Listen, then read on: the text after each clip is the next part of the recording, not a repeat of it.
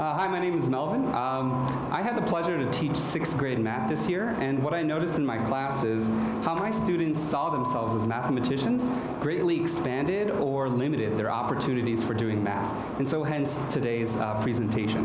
Um, when I was 10, um, I tried to read my sister's calculus textbook. Um, I didn't know algebra, so it didn't really work, um, but it was worth my time and um, it spoke to a larger issue, and that issue was um, I had a positive mathematical identity. Uh, I felt like I could do math. I saw math as a web of interconnected ideas, and uh, those ideas were meaningful to me. Um, now, those feelings didn't just fall out of the sky. A lot of very specific things had to happen. Um, I was affirmed by my teachers. I was positioned by my peers as an expert. Um, I had a personal inclination to do math and science, and frankly, I benefited from various forms of bias. Um, I was uh, short, um, skinny, I had glasses, my name is Melvin. Um, I didn't have a lot of friends, um, and frankly, you know, there was the model minority stereotype that Asians are good at math. So I fit into this stereotype of what it meant to be good at math, and so I felt that way. So that was my identity. I had the opportunity to ask my sixth graders what their mathematical identities were what their histories were math were, and why they felt the way they did. So I'm going to share three uh, snippets from three different students. So the first snippet is, quote, I remember the summer before second grade, my grandfather would give my sister and I about 10 problems every day to solve. I never really understood what I was doing. I recall crying because he had to explain the same thing over and over, but I still couldn't understand. Uh, the second, I started to gain momentum, and by the time I made it to 100, by the end of five minutes, my mom said, hugged me and said, oh my gosh, you are correct. And that's when I knew math was my thing.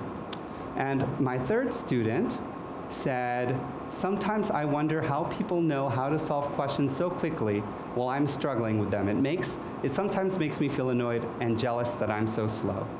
So why am I sharing this with you? I'm sharing this with you because everybody in this room takes part or will take part in the formation of someone else's mathematical identity. But if you came to Uri Treisman's talk last week, you might remember a bitter truth he shared, that math, this thing that we love, is a burial ground for so many students' aspirations. And in my words, it makes them feel less than.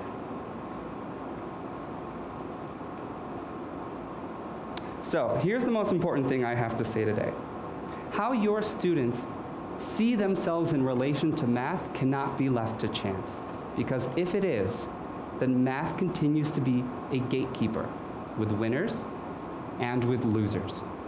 And sure, we can say math is for everybody. You know, everybody's a math person. And that's a fine start, but we've known this as a community for years, and yet the dominant narrative continues to be that people say, I'm just not a math person.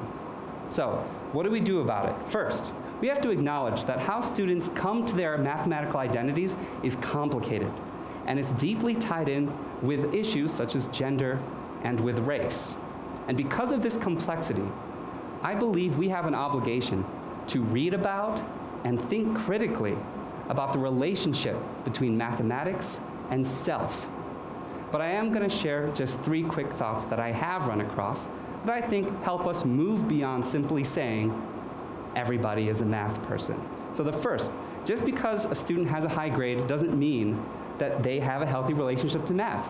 Sometimes our most successful students have the narrowest view of mathematics to the extent that they inadvertently treat math as a culture of exclusion and even exclude themselves. The second, identity is not something that our students possess. It's something that they do with the opportunities we give them.